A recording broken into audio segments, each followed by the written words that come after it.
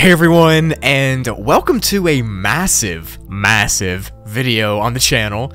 In this video, I'm going to be talking about the most dangerous, deadly, unsafe levels in the backrooms. Now, I haven't done a long video like this in a while, so I thought it was about time. So just sit back, relax, grab something to eat, and get ready to hear about the terrors of the backrooms. Also, help me get to 500k subs so I can buy the backrooms pants. I hate asking for subs because everybody does that, but these pants are fire, what can I say? Alright, let's get into it.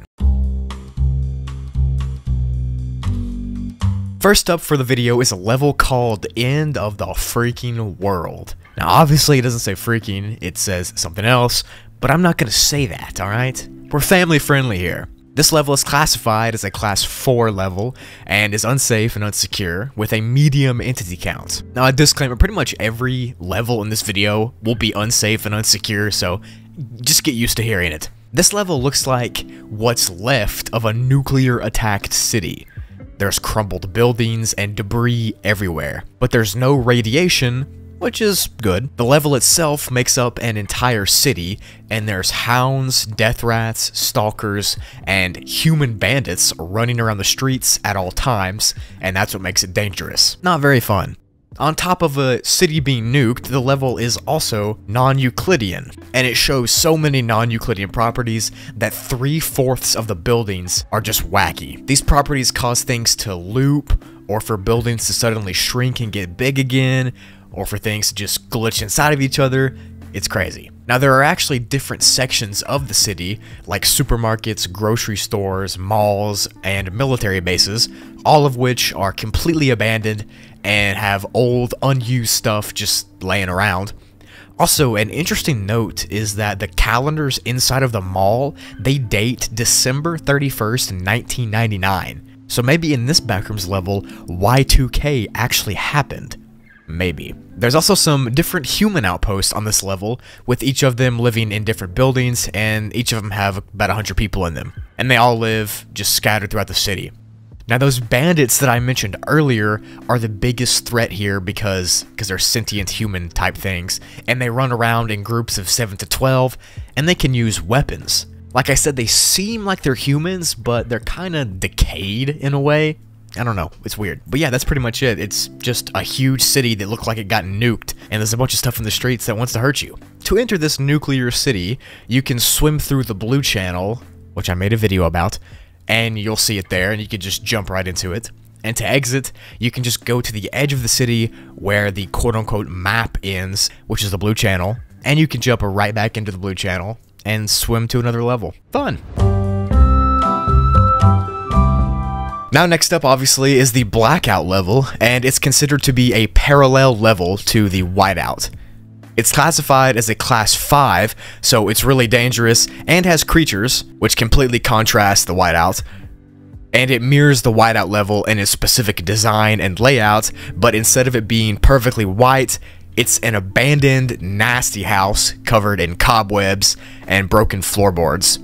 Smilers and hounds are the main entities here that roam the halls, but sometimes random voices have been heard echoing down the hallways so there might be something else down there. There's also been reports of random screaming, so, uh, yeah. The windows on this level can actually be looked out of, unlike the whiteout level, where if you look out those windows, you'll just see white. Here, you'll see a field at nighttime. You can't break the window to go out there and explore, but the field is the exact same location and thing you see out of every window, so it might be a fake thing, but we don't know. Sometimes wanderers report looking out those windows and seeing tall shadows with white eyes walking around, which is scary to say the least. The level also has a level exclusive entity called the Bride. She looks like a pale ghost in a wedding gown and normally just follows people around the level. She's sometimes heard and even been seen crying in random rooms. That's kind of sad. The maker entity from the whiteout seems to have some sort of connection to the bride because there's pictures of them together on the blackout level, but he's never been seen physically here, so like maybe they're not able to get to each other, I don't know. There's no bases here, and every group that comes here hasn't made it out to tell the tale because it's really dangerous from the entities. And the only way to enter the level is to go really deep into the whiteout until you find a gray door that opens up to the blackout, and when you go through it, it shuts and locks itself.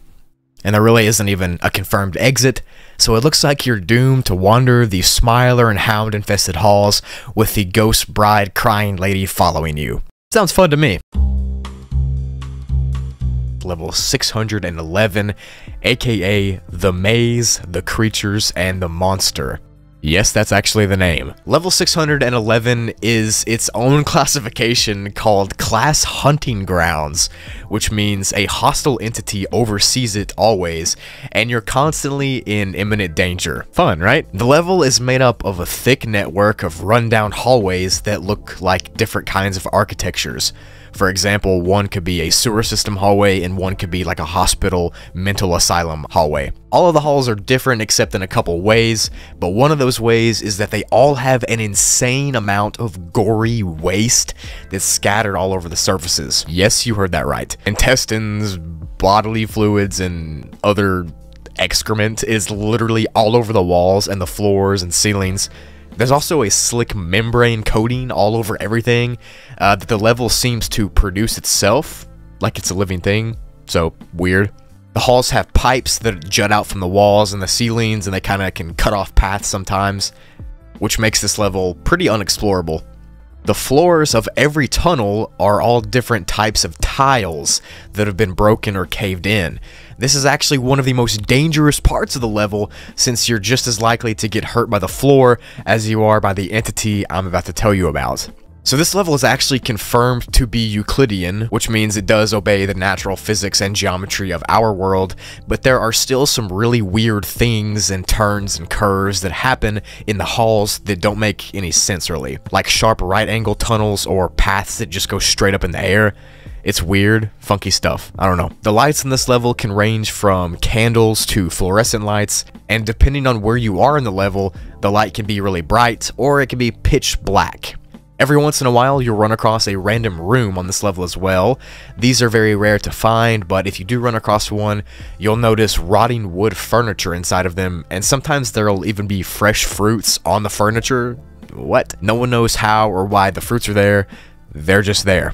But random fruit does not compare to the scariest part of this level, which is the entity that lives here called the Sential or Entity 611-1. The second a wanderer enters this level, the sential entity starts tracking them. No matter how close or far away they are, it'll find you. And when it reaches you, you'll be attacked by a huge blade that's hooked together by chains. Now, the following, what I'm about to say, are some of the observations that have been made about this entity. It can run at inhuman speeds, so really fast, and can lift and throw practically any object. It's got insane strength. It's survived fire salt attacks and it can hear a wanderer from miles away. Uh, so yeah, this thing pretty much cannot be stopped. The physical description of the Sential seems to change from person to person, but the overwhelming kinda description is pretty much the same. So far, it's that it's a human figure that stands at about 8 feet 2 inches tall, or about 2.5 meters, with dirty, cracking brown skin, with wound-type markings all over it. Its face, arms, and legs all have what seem to be metal armor on them, so those parts of the body can't be really seen well, but from what people can see, you get the description I just said. Some people think that the armor is actually hurting the entity, like it was put on there by somebody else by force, since it kind of looks like it's shoved into the entity's skin, but that's not confirmed. This entity also appears in a text from the Lost Colony, which has supposedly existed in the backrooms for a long time, and that text talks about how dangerous the Sential is, so evidently they've known about this thing for a long time, and they've also known to avoid this level at all costs because of it. As far as bases and outposts go, well, there aren't any obviously, and you can enter this level from any indoor industrial building that's kind of dilapidated or falling apart on any other level, and all you have to do is walk through a door inside of one of those places, and you'll be sent here. You can exit through randomly appearing areas that seem to have like a no-clipping energy to them. Now these will appear and you'll be able to see them because like the air behaves differently. So when you do see one, you need to use it because there's no telling when another one will happen. And you don't want to be stuck here with a giant humanoid with a blade chain thing chasing you. Trust me. It's level 171, aka the Grand Illusion level. This level is actually found in the Meg classified database, and itself it's classified as a class 5 rating. I just say class like 80 times. At first, when you get to the level, it looks like a 1930s style atrium where slow jazz is playing and there's like a nice fragrance in the air. And then this is all well and good until the wanderer starts to walk further and further into the level, it all disappears. The chill jazz area behind you will eventually fade away, and that nice smell you smelled in the air will disappear, and it'll start to smell rotten. This smell is described as the smell of mothballs and rot, so a very strong chemically smell. The calm lights you saw earlier will turn into what's known as signal lights, which I'll talk about in a second, and something called the blight will appear when those lights go off. The blight is apparently an entity swarm full of hostile entities that attack as soon as the Wanderer is seen. There are a bunch of different entities that make up a Blight, but none are listed on the Wikidot, so I don't know. The common theory is that the Blight and the Signal Lights have some sort of symbiotic relationship, because the lights will flicker on and off at a five minute interval, so they'll be on for five minutes and off for five minutes. When they're on, the atrium and the jazz scene is what you see, you smell that nice smell, and you're just chilling. That's when the lights are on. But when the lights go off, that illusion falls apart and the level turns into complete darkness. That good smell turns into a horrible one, and the music becomes slow and distorted. This is when the blight seems to be visible to the wanderer. Because when the lights are on, you can't see these blight hordes, but when they're off, you can. So pretty much, it's just a big game of red light, green light, if you know what that is. When the light's red, you stop. When the light's green, you go. But in this instance, when the signal lights are on, you're fine. You're just in that chill jazz area. But when they turn off is when the entity swarm starts. So this is a summary of a memo that Meg has on the website about this level. Because I can't be bothered to read the whole thing on here. I'm just going to summarize it. Pretty much this level is dangerous because of its non-Euclidean properties, so all the information on it is being removed for safety reasons. If you want to get here for some reason, you can get there by getting lost on level 5 in a really far out wing.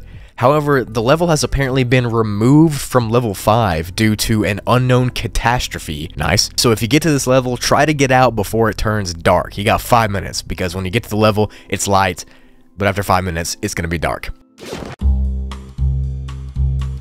Shady Gray is classified as class undetermined and is a collection of extremely unstable sublevels that are really rare and hard to get to. All of the levels are colored in a grayscale black and white format, and the environments inside of the sublevels are extremely dangerous and very, very unstable. Meg has sent multiple agents to this level to explore its sublevels to try to get more information about it, but only one has come back alive. There are eight confirmed sublevels that have been discovered so far, but there might be more than that, we don't know. And not all eight of them are documented. Only five of them are documented, so we're to get into them right now. The first sublevel is level 00 or Z0, but I'm not going to say Z0 because level 0 sounds better. And this is the most stable part of the Shady Gray. It's the only sublevel that you can actually explore without really much danger being there. That is, as long as you escape it before nighttime. This sublevel looks like a jungle, but it's black and white, just like all the other sublevels. And the trees here are really glitched, and they're glitched inside of each other most times. But besides that, and the black and white color scheme, the level is pretty stable. So level 0 is where you actually enter the shady gray level at. You'll wake up in the shack you see on the screen right now, in the middle of the jungle there. This specific sublevel has a day-night cycle of about 12 hours, but it doesn't gradually change from day to night like it does in real life. Instead, it instantly changes like a light switch being turned on or off. This is really dangerous, and I'll explain why later. But the reason I was saying that the area is somewhat safe is because during the day there are no, like none, no entities here at all. But at nighttime, the level gets flooded with them. When it does get nighttime, all the light immediately goes away, and it gets so dark that you can't even see your hand right in front of you. Also, flashlights and stuff don't work here either. You'll start to hear howlers howling in the distance about 5 minutes into the darkness, and this is the last chance you have to get out of there before you're just toast. Now, the entities that are actually here are unknown since they can't be seen, since it's, you know, pitch black, but it's theorized that they have night vision so they can hunt down wanderers easily. During the daytime in the sublevel, you can see lakes and rivers that are full of almond water, but when it turns nighttime, those same lakes and rivers turn into liquid pain somehow. Even if you put the almond water in a bottle from the lake, it'll turn to liquid pain at nighttime. You can get to the next sublevel below this one by getting a branch and drawing in the mud. This will open up the floor and you'll fall directly into the next part. The next sublevel is called level 1. This is a very unstable area that looks like a black and white mansion. When you fall into this mansion, you'll be in the lobby part of it, and you'll notice that the furniture here is really glitchy, and it's really just distorted. If you touch the furniture, it'll cause your body to start glitching and distort you on an atomic level, so don't do that. Other than the glitchy furniture, this level is just a grayscaled mansion. But there is one entity here, and it's very dangerous. He's known as the Landlord, and he wears a suit and a fedora, and is always carrying around a briefcase with him. If the landlord sees you, he'll start walking towards you, and if you run away, all the exit doors will instantly be closed and locked. When he gets to you, he will unalive you for trespassing, loser. There's been some reports of people being able to escape the landlord by shooting him, then escaping from there by breaking a door down and getting to the next sublevel, but this hasn't always worked. The next sublevel is sublevel 2, which is a huge forest blanketed in snow. And lucky for you, this sublevel is one of, if not the safest sublevel in the Shady Gray. It's also the most explored one too. Now, it doesn't make any sense that this level is covered in snow because it's actually hot all the time here. In fact, it's so hot that people have literally ceased to exist because of sunburn and sun exposure or heat stroke.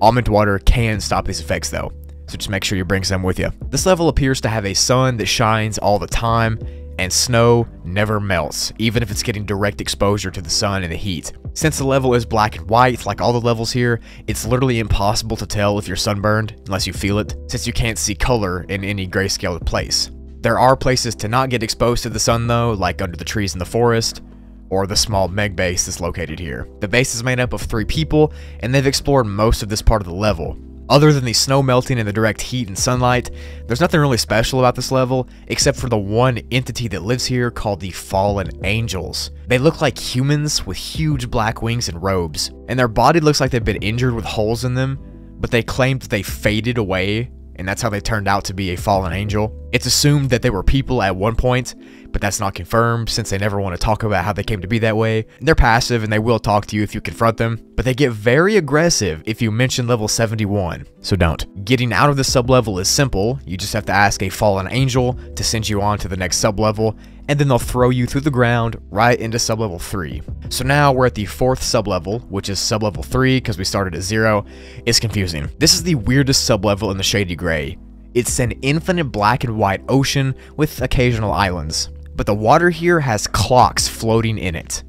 And these clocks have some sort of time altering abilities within them, and they all do different things, but more on that in a second. The water of the ocean is very corrosive and toxic, and it seems to be like a weird mixture of normal distilled water and motor oil or mercury, okay? Meg has found four different types of clocks floating in the ocean.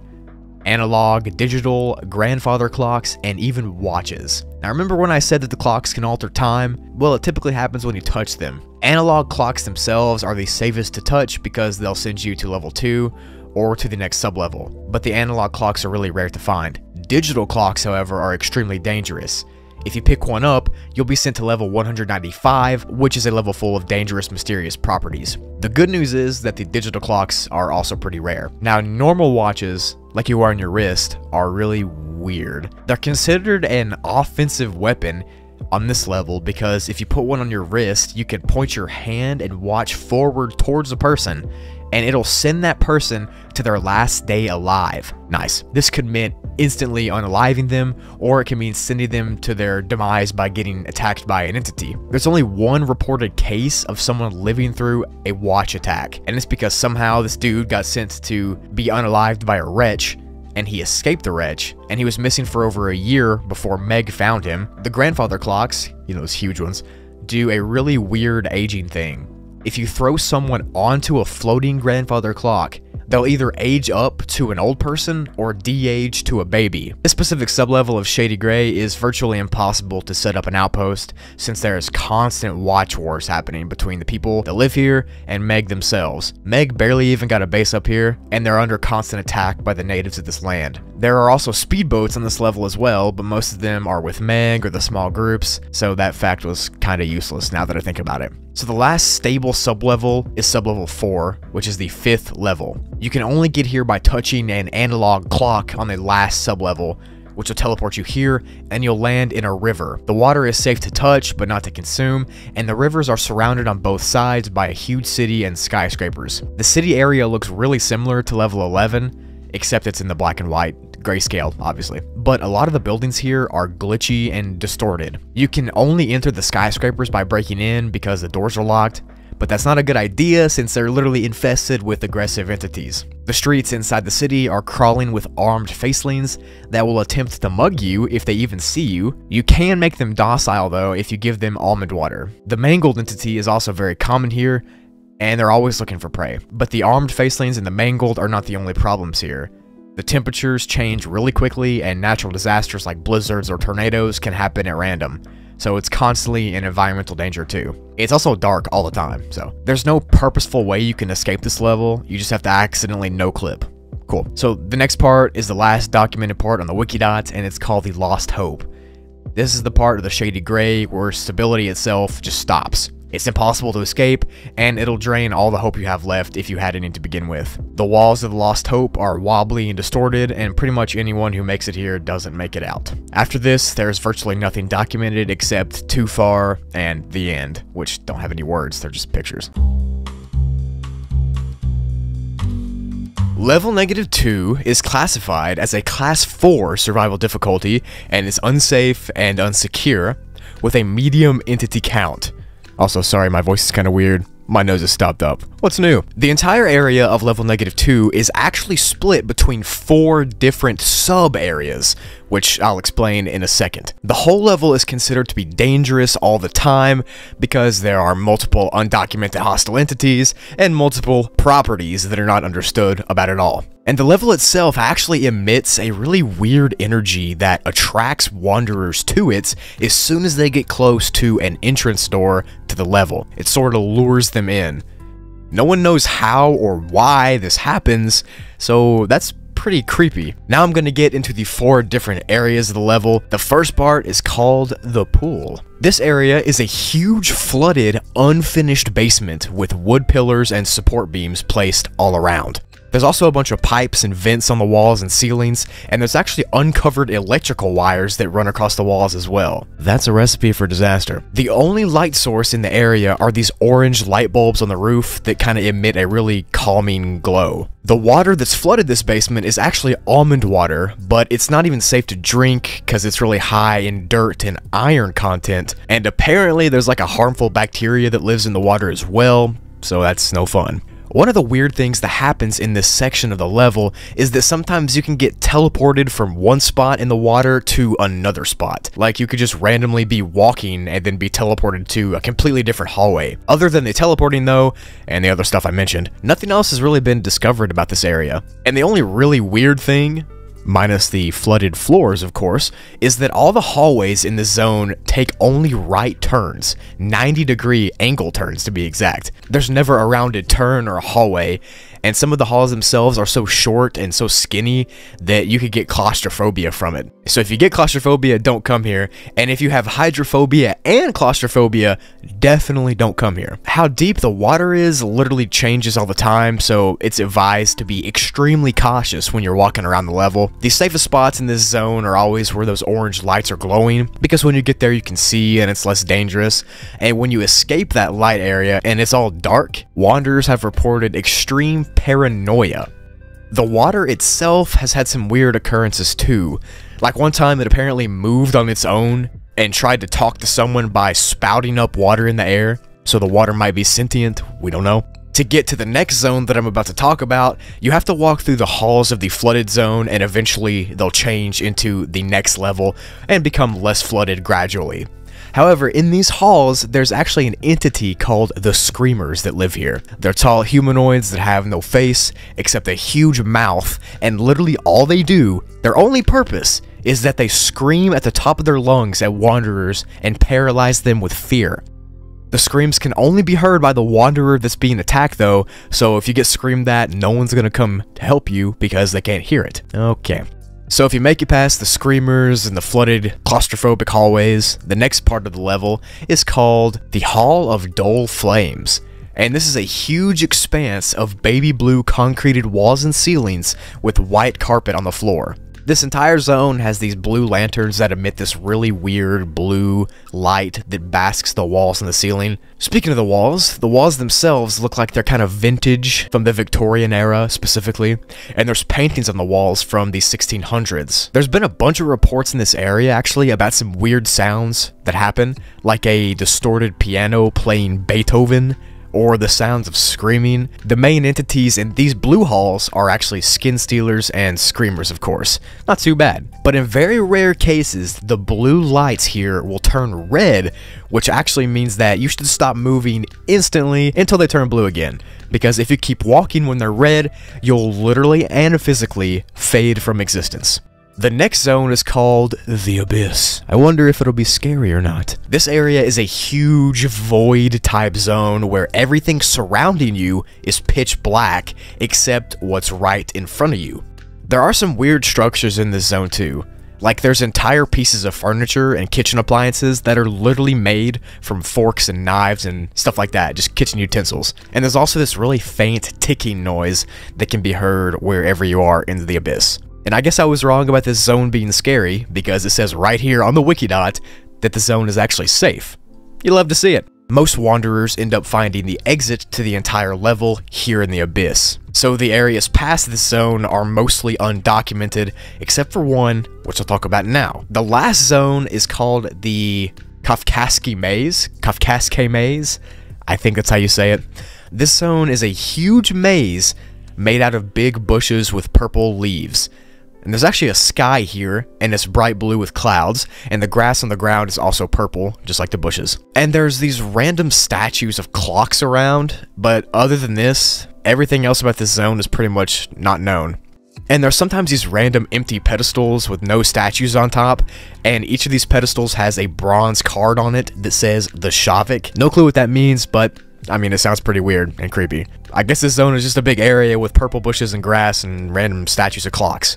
Pretty weird. So that's it for the documented zones of level negative 2, and there aren't any bases in any of them, but apparently Meg is trying to set up a base in the Abyss. To enter level negative 2, you can enter any of the doors from level negative 1, or you can no-clip through a yellow wall on level 13 to be sent here. To exit, you can find a set of out-of-place stairs randomly around the level, and they'll take you to level 14, or you can just find the entrance to level negative 3, which doesn't exist somehow, on any of the zones except for the pool. Nice. Next up for the video is level negative 4, which is classified as a class undetermined because of some really weird and creepy mysterious properties that I'll get into in a second. Physically, it looks like a huge dark forest with literally no signs of human or animal life. Just a massive, untamed forest, pretty much. Everyone who enters this level always enters from the exact same spot, which just so happens to be inside of a barn that's been randomly placed in the middle of the woods. And this is actually the only structure on this level. Now, other than what I just said, this level is pretty much undocumented, and it's kind of hard to travel in because the compasses you have and the flashlights you could use, they'll randomly break or stop working when you're out in the woods. So it's kind of like the level doesn't want to be explored. There aren't any outposts here, but there's been a bunch of attempts by Meg to start one up, and all of them have failed. These are pretty creepy, so watch out.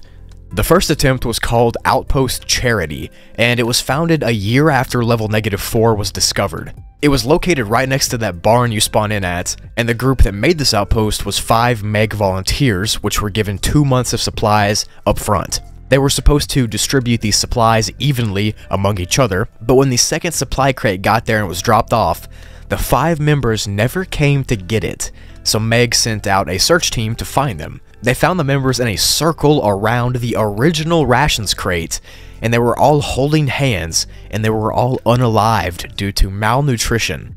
None of the rations inside of the supply crate were even touched. It was completely full, but for some reason they were all holding hands standing around it and weren't even alive. That's terrifying. The next failed outpost was called Outpost Burns, and this was created four months after that first incident. This one had three members who lived without issue for three months, but when the fourth month came along, all three people vanished from the camp area. The only evidence left behind was actually a picture taken by one of the members while they were still at camp, and on the back of the picture it was written in scribbly handwriting, Going north, don't follow. None of the three people were ever found again. The third failed outpost is kind of lame. Pretty much it was four people who burned down their rations. Not gonna lie, that's kind of lame. Now, the last failed outpost I'm going to talk about was called Outpost Red Forest. This actually was started by 13 people in a collaboration between Meg and the followers of Jerry. It was made right at the barn's entrance, and it lasted a full 8 months before it fell. Out of all 13 members, only 3 survived, and the ones that did survive have severe issues in their head right now. Apparently, the 10 that didn't make it were all unalived by an undocumented being called the Grey One. And just like the first time, these people were all in a circle holding hands inside of the barn. Not cool, bro. So if I had to guess, the entity that destroyed this outpost was also the same one that destroyed the first outpost as well. Kind of reminds me of the Blair Witch though. If you've seen that movie, you know what I'm talking about. To enter this weird level, you can walk through one of the doors on level negative 1, which will put you back in that barn, and to exit, all you have to do is wander into the woods, and you'll randomly no-clip back to level negative 1 or on to level negative 5. So you've probably all seen this image before. It's an empty library with the end is near on the wall. But did you know that it was a backrooms level? In fact, it's an enigmatic level, so you already know it's going to be pretty wacky. The end is classified as a class undetermined and is pretty much a trap level, meaning that it gives you fake illusions that you've escaped the backrooms. These illusions can really mess with your mind because you think they're real, but they're not. The library itself is extremely quiet, which in and of itself can make you go insane, and the only noises that you can hear come from computers that buzz loudly. Now, as if the level couldn't get any worse, there's literally no way to leave the level that we know of, because of the physical properties that do not obey any physics or any Euclidean properties, and it makes exploring pretty much impossible. For example, you could just be walking in a completely straight line, but you'd actually be going in circles, or you could be walking straight and then turn around and just faceplant right into a wall. Pretty confusing. Now, the abnormal physics and the quietness are bad, don't get me wrong, but the fake realities are way worse and way more detrimental to your mental health and physical health. Fake realities are highly personalized areas inside of the end that look like places that you've been to or places that you're familiar with from real life. The level can also replicate actual objects and people too, and it's all tangible and can be interacted with. So it literally seems real, and every fake reality that's been documented exists in similar areas, and they seem to share these transitional spaces that kind of blur together like borders, and these are where the two fake realities will meet. If you walk through one of those areas, that reality will disappear and you'll be back in the library part. But for real though, hallucinating places that you've been or people that you know would be terrible, especially since you think it's real, so you would literally think that you're back in reality. It's also important to note that pretty much anything that uses Wi-Fi or electricity doesn't work here, so you can't radio for help or call for help or do anything. The only thing that does work that has any technology is those computers that are scattered around the level, but they're also really dangerous because for some reason, entities, specifically partygoers, like to hang out near them and capture prey. But some think that if you go on one of those computers and you run a specific .exe file on there, then you'll be sent to reality. Obviously no one knows if it works or not, but that would be pretty cool. There is actually surprisingly one base here called the Junkies. This one's pretty sad, but it's a ragtag group of six people who live inside of the fake reality areas of the level. They won't trade with you unless you give them memory juice, and they spend their entire day and night, pretty much their entire lives, high on memory juice inside of fake realities, pretending that they're in the real world.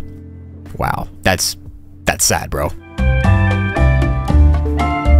To enter this level, you actually have a chance of entering here by going through any door that has a neon exit sign on it.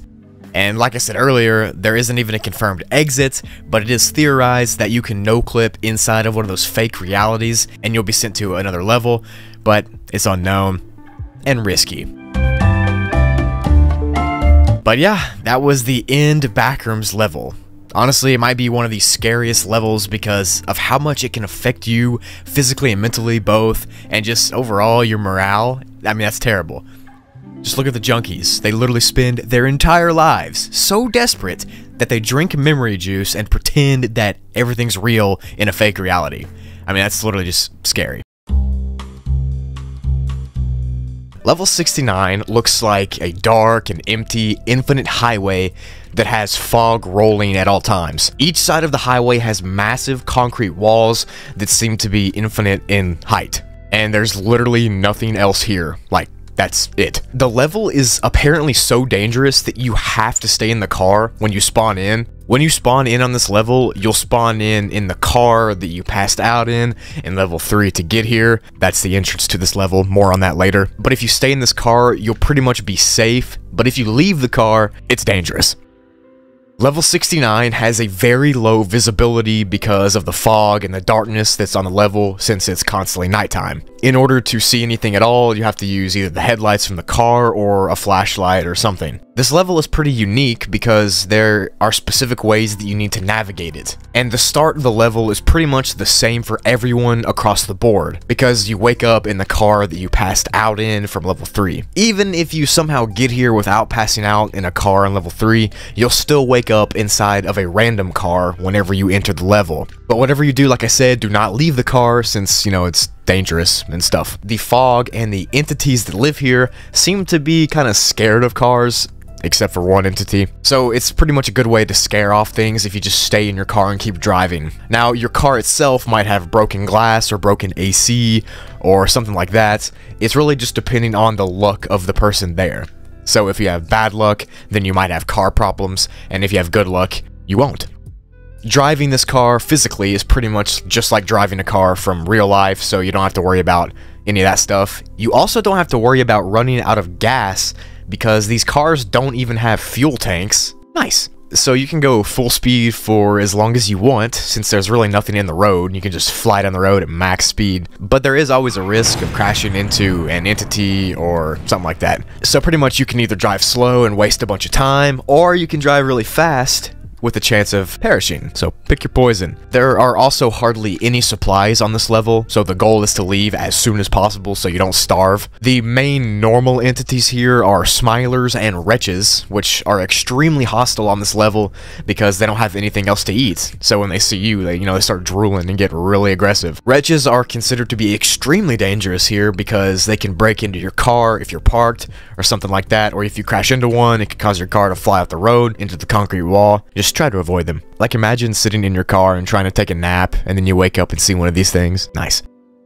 Now this level also has a level exclusive entity called the Beings from Above. These are very mysterious and dangerous, and they're pretty much one of the main reasons, if not the main reason, that you should not get out of your car. Their exact body description isn't known, but their legs, or arms, look like spider legs or crab legs. You can't see them from the ground, obviously, because you'll be in a car. But if you were to get out of your car, a leg might fly down from above and spear right through you, and then pick you up and carry you up into the darkness. It's kind of like that thing from King Kong if you've seen that movie. There's only been a handful of survivors from an attack, and they say that the legs feel cold, slick, and completely solid. Oh yeah, and these entities literally cannot be taken down at all. People have tried bullets, explosions, knives, nothing works on them, so. This level also has a weird phenomena that happens called the Whispers. Now this might be an entity or just a weird occurrence that happens here, but pretty much they're these negative thoughts that go through your brain while you're on the level and they try to break down your mental health. So watch out for that, I guess. The easiest and most common way to enter this level is to pass out in a car on level 3 and you'll just wake up here. To exit the level, it's pretty simple. You just have to drive really far on the road and eventually you'll run across a tunnel that's carved into one of the sides of the concrete walls. Now you want to make sure you're either on the right or left side of the road because if you're in the middle, there's a chance you might miss this tunnel and you don't want to do that, trust me. So once you find the tunnel, just drive through it and you can only drive there for exactly 17 hours because then at that point, your car will break down and stop working. After it stops working, you just have to get out and you have to walk through the rest of the length of the tunnel. But don't worry though, the tunnel's safe. There's no fog or no entities or anything like that. Just a normal tunnel. And this tunnel will lead to level 11. So it's pretty much worth it. There's also one unconfirmed exit as well. Some people have said that if you pass out while being attacked by a being from above, that you'll wake up in level 0. But I'm not gonna stick around and try to test that theory. So yeah, you got an infinite highway with huge concrete walls on each side and giant spider legs that come down from the sky to attack you. Love to see it. The Hive is classified as a class 5 difficulty and is extremely unsafe. I mean, just look at it. According to the person who found this level, Toy Giwa, I, that's what I'm going to say it as this whole video, so if that's wrong, just look at the spelling. The Hive is a never-ending labyrinth of caves and caverns, where the walls and the floors and the roofs are made of a fleshy tentacle-like material. The entire place is sprinkled with alien-ish looking eggs, specifically up the columns in the middle of the big caverns. That's where most of the eggs are. There's this light blue mist that flows through the caves and supposedly makes it pretty difficult to breathe. Now, Toy Gua, which is the explorer that located this level, claims that he saw several creatures hatching from those eggs, like hounds, death moths, and crawlers, which is interesting because those creatures are on almost every single level of the backrooms. He said that they were actually calm for a few minutes after they were hatched from those eggs, but then they turned aggressive, which is weird. And these eggs shine light on the theory that some Backrooms creatures actually do reproduce and are not just spawned in. Toygua also said that there's a constant howling that echoes through the tunnels, presumably from a creature that is unknown, but there are a multitude of hostile creatures that live here. There's even one entity here that was previously undiscovered until it was discovered, called the High Queen.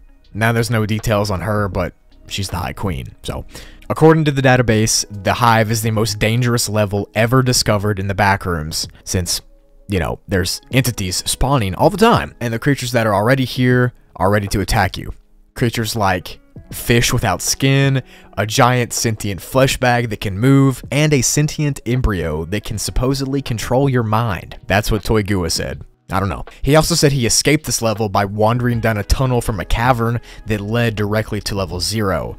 He said when he went through the threshold into level 0, he turned around and the tunnel was gone. Apparently this guy had leaked some secret information from Meg, and Meg didn't want that to be leaked, so they were chasing after him and he was on the run, and he no-clipped through level 6's floor and ended up in the hive. But there still is not a concrete way to enter the hive as of right now, because it was just random that he did.